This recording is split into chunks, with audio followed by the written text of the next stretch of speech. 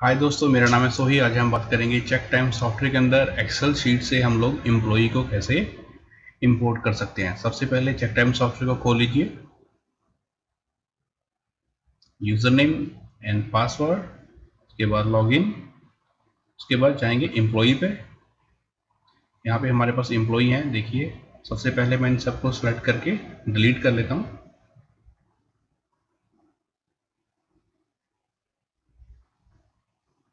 तो ये सारे एम्प्लॉई डिलीट हो गए। अभी हमारे पास इस डिपार्टमेंट के अंदर कोई एम्प्लॉई नहीं है इसमें भी कोई नहीं है। अभी हम लोग इंपोर्ट करेंगे एक्सेल शीट से चेक टाइम में। सबसे पहले इंपोर्ट पे जाइए। हम लोग सैंपल फ़ाइल डाउनलोड कर लेंगे यहाँ से फॉर्मेट जिसके अंदर हमें सारा डाटा फिल करना है। आप कोई भी नाम दे दीजिए, जहाँ पे सेव करना है, वहाँ पे सेव कर दीजिए।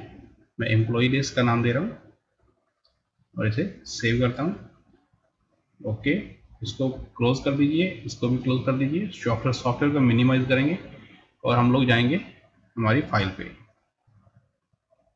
इस फ़ाइल को खोल लीजिए एक्सेल फ़ाइल है ये। यहाँ देखिए हमारे पास एम्प्लॉई आईडी और नेम ये दो चीज़ें ज़रूरी हैं, बाकी सारा डाटा ऑप्शनल है आपके लिए।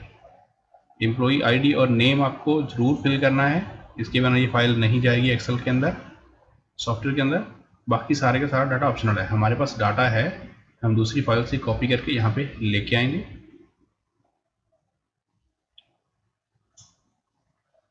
मैं दूसरी फ़ाइल खोलता हूँ, जिसके अंदर एम्प्लॉय का सारा डाटा पड़ा है। यस करते हैं इसे। तो यह देखिए एम्प्लॉय आईडी भी है हमारे पास, नाम भी है एम्प्लॉय का। और बाकी सारा डाटा ऑप्शनल है। आप जिसका है, आप फिल कर सकते हैं, जिसका नहीं है, उसे छोड़ दीजिए। मैं ये सारा डाटा कॉपी कर लेता हूँ यहाँ से। आप डाटा एंटर भी कर सकते हैं। जस्ट ध्यान रखिए आप कोई भी फॉर्मूला या फिर कोई भी स्पेशल करेक्टर वगैरह ना यूज़ करें यहाँ पे। तो यहाँ पे मैं पेस्ट कर लेता हूँ। ये सारा डाटा हमारे पास पेस्ट हो गया। एम्प्लॉई आईडी और नेम दोनों आ गए हमारे पास सब कुछ। और सेव करते हैं इस फ़ाइल को।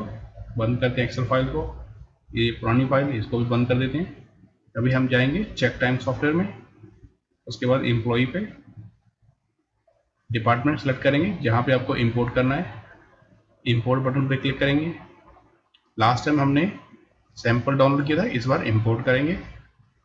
फ़ाइल सेलेक्ट कर लीजिए, जहाँ पे आपने सेव किया है। हमारे पास ये फ़ाइल है हमारी, जो हमने अभी बनाई। ओपन ये देखिए, ये सारा डाटा यहाँ पे आ गया। अब जैसे ही मैं सेव बटन पे क्लिक करूँगा तो ये सारा डाटा सॉफ्टवेयर के डाटाबेस में सेव हो जाएगा।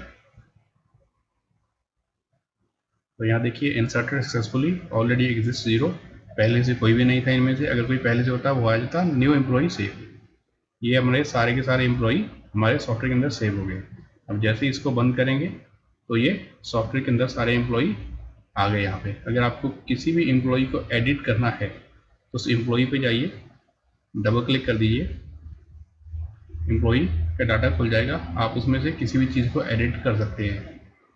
एसी नंबर नंबर ही रहेंगे, कोई भी अल्फ़ाबेट इसके अंदर ना, नहीं डालें। पे आईडी आप कुछ भी डाल सकते हैं, जैसे आपका पेरोल सॉफ्टवेयर के अंदर आईडी है ए बी सी या फिर कुछ भी, आप यहाँ पे डाल सकते हो।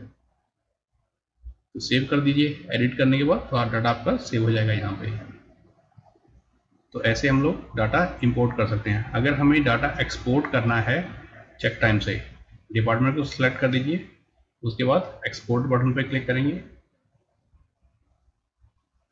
तो सिस्टम एक फ़ाइल जनरेट करेगा और हमसे पूछिएगा कहाँ पे आपको उस फ़ाइल को सेव करना है। हम लोग जहाँ पे चाहें आप उसको सेव कर सकते हैं। कोई भी नाम दे दीजिए सेव तो ये हमारी फ़ाइल क्रिएट हो गई है।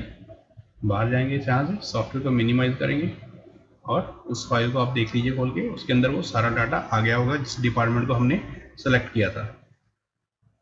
ये देखिए, ये हमारे पास सारा डाटा आ गया है एक्सेल का जो हमने सेलेक्ट किया था तो ऐसे आप इंपोर्ट और एक्सपोर्ट कर सकते हैं डायरेक्ट चेक टाइम से एक्सेल सीट को चेक टाइम के अंदर इंपोर्ट कर सकते हैं या फिर इसे एक्सपोर्ट कर सकते हैं Thanks for watching. Get your check time biometric system today. For more info, visit our website www.check-time.com.